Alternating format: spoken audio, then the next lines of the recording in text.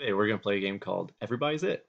With Everybody's It, there is three levels. The first level, you will not get in a group. It'll be everybody versus themselves. You can tag anyone, and there will be three options during a round. I'll say you will either walk only, or you'll be skipping only, or any speed possible.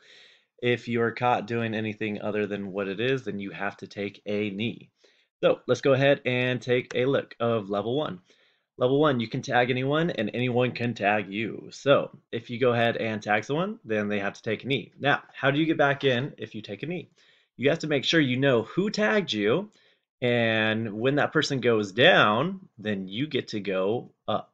All right, so that's how you get back in the game. So don't worry if you go down, but you got to make sure you know who tagged you because if you don't know who tagged you, when they go down, you don't know when to go up. Okay, so when they go down, you go up. Now, this is level two. Level two, you'll get into a group of two. Now with your group of two, you have a partner now who can help you try to get everyone out. That's how you win the game. So this person will go and they will try to get every single person. Now, if you tag the person, remember that person takes a knee and they're going to remember who tagged them so that they can get back in the game. Now, your partner can only tag the person who tagged you. And when that person goes down, then you go up. So that person can't just give you a high five or anything like that. They have to tag the person who tagged you. So a good strategy is to go to your partner, ask, hey, who tagged you? And then they will tell you who did, and then that will give you the opportunity to tag that person. And when they go down, then your partner goes up. Okay.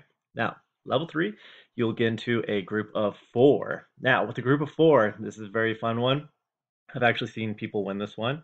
So a person will go around and then that person will try to tag as many people as possible. But remember, when you get tagged, then you go down.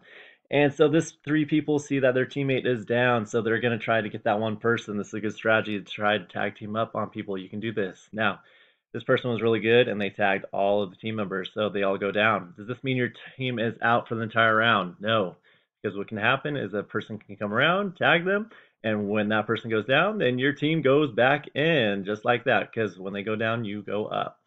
Now, last level, uh, you will just include flags and you will repeat levels one, two, and three. Now, remember, at the end of each round, I will blow my whistle and you have to listen if it's going to be either walking or skipping or any speed. So if you have any questions, feel free to let me know.